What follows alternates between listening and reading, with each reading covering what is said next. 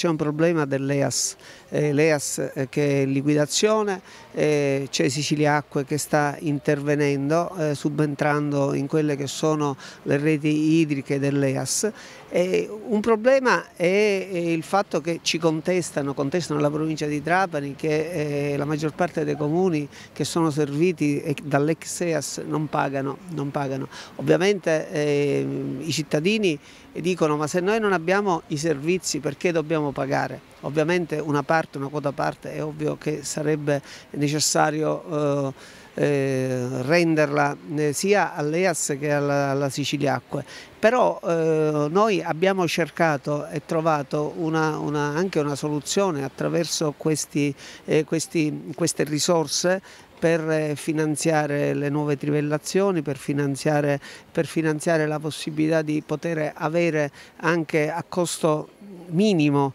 eh, le, mh, eh, attraverso i dissalatori, uno in provincia di Trapani e altri due, uno eh, nella Sicilia orientale e l'altro eh, nel, nel, Catanese, eh, per poter avere eh, la possibilità di usufruire dell'acqua del mare. Marsala per la verità rappresenta un'oasi felice, anche se ci sono problemi di, di, un, di un, giorno, due giorni per rottura di, mh, la rottura della rete idrica. Devo dire che invece in altri, in altri in altri comuni come quello di Trapani e Misiliscemi perché sono collegati la situazione è diventata disastrosa, il problema è veramente eh, molto molto delicato sia per quanto riguarda il turismo ci sono decine, decine centinaia eh, o addirittura migliaia di dislette da parte